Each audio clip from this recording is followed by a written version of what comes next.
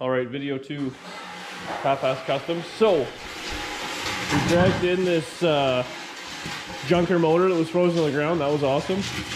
We got a junk turbo 350. So we're gonna bolt those together. I gotta axe the firewall. We're gonna set the motor and trans in, make some new motor mounts or something just to kind of hold it in. So we see where it's gonna be, make sure the radiator is gonna clear up front with the suspension. And then, I don't know, trailing arms, whatever we're doing in the back here, we can make some sort of brace. So, this is what Uncle Brent recommends, that's what we're doing.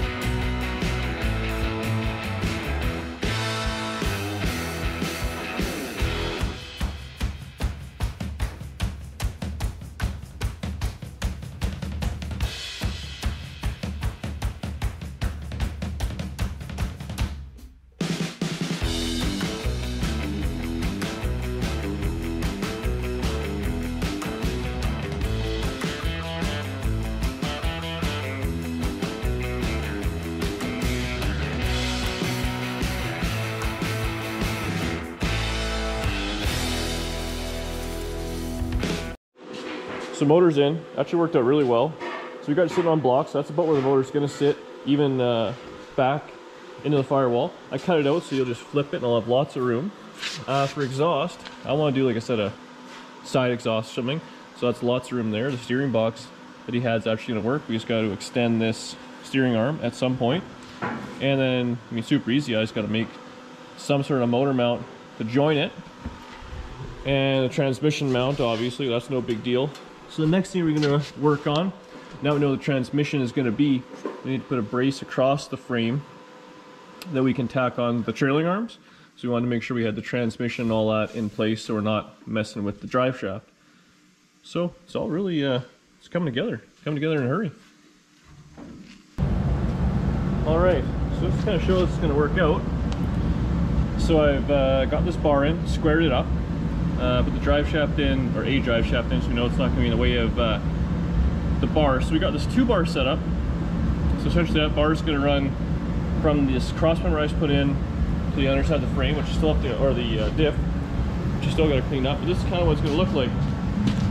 So here's that front little uh, part with the bushing, two tabs, weld that to the crossmember, square tube back, and this will fit under the diff, plug weld it, all the way around, and that's gonna be it.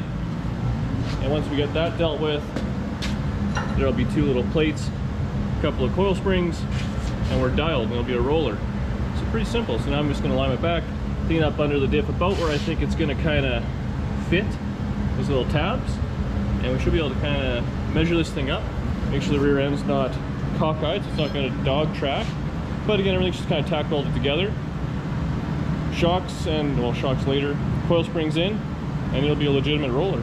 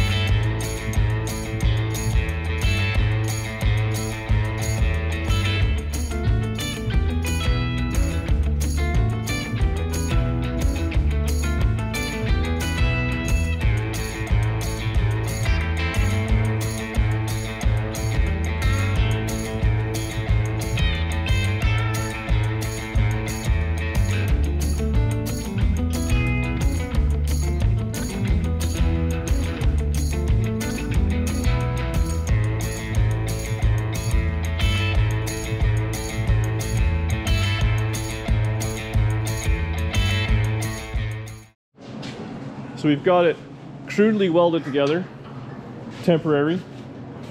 But ultimately it looks, uh, looks pretty good. So the coils are in, there's no shocks, nothing obviously, but it's bouncy. Raised it up so we'll have to adjust the coil, the springs there to uh, make it a cool ride height. But overall, it's in there, a little high. The front's a little low now the motor's in and all the weight's on it. So through a block or figure some way out to lift it. But the overall lift is there, or look is there, sorry.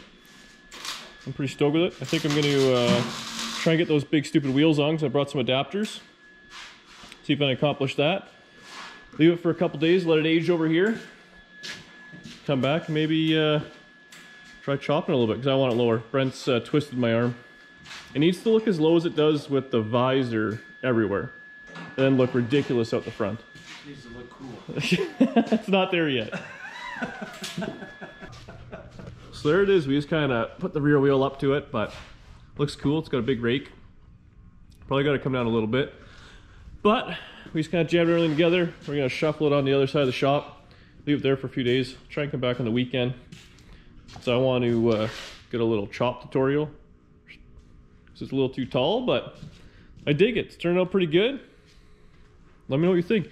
Brent hates these wheels. I love them. so let's put a poll in the comments. And my is half-ass right? He's got a little more experience, but I think I have him in this one.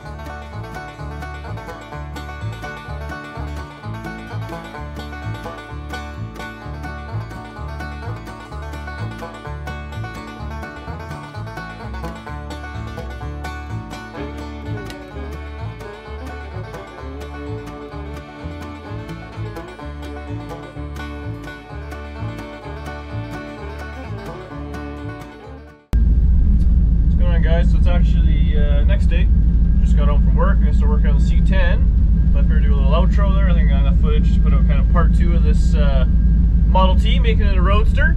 So, as always, leave a comment, let me know what you think. What kind of wheels we should put on that thing. If I should chop it or not. I mean, I fight it back and forth. I kind of like how high it is, but I do think it needs a little bit more of a squeeze on the side. Otherwise, like, share, subscribe, tell your friends, do all those good things. I really appreciate it. Again, thanks to uh, old Brent over at Half Ass. I owe him a lot. He gave me all those parts and stuff like that and all the knowledge. So you can't go wrong. I think that's it for now. Be back on the C10 for a little bit. I want to jam, get that thing done, and hopefully the uh, Model T will come home. I can actually uh, finish it up here.